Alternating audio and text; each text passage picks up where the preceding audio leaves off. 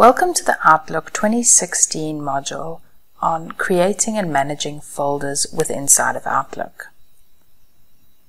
Now Outlook does not only exist in two folders, Inbox and Sent Items.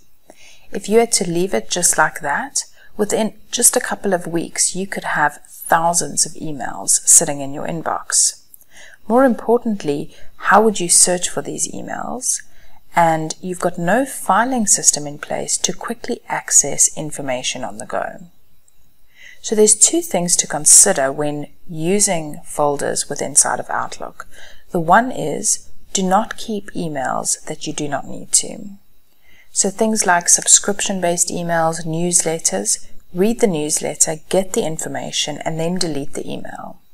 Whereas more business-related emails, such as clients' proposals, such as inter-team information, those are things that you need to keep. So those are the kinds of things you would have to create folders for.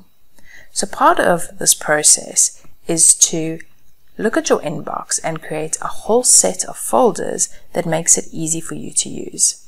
And once you've got those folders in place, you can then look at our module on how to create rules inside of Outlook so that you can specify certain emails from either certain people or with a particular subject will go directly to folders, which helps to alleviate the pressure of your inbox.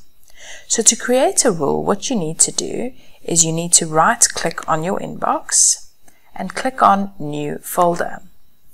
Now we've already got a whole bunch of folders, but in here we can call this our test training folder. And it'll then store that folder in alphabetical order where you can always go back to it and put information in there. To move information to your folder, click on your inbox, select a particular email, and just say right click you will see there's an option that says move and all your main folders will appear in here. I'm going to choose the test training folder because I've just created that. It'll then move my email into that folder, which is one less in my inbox that I don't need to deal with at the moment. Once you have created these folders, you'll soon find that your email inbox will become less and less, which makes it a lot easier to manage.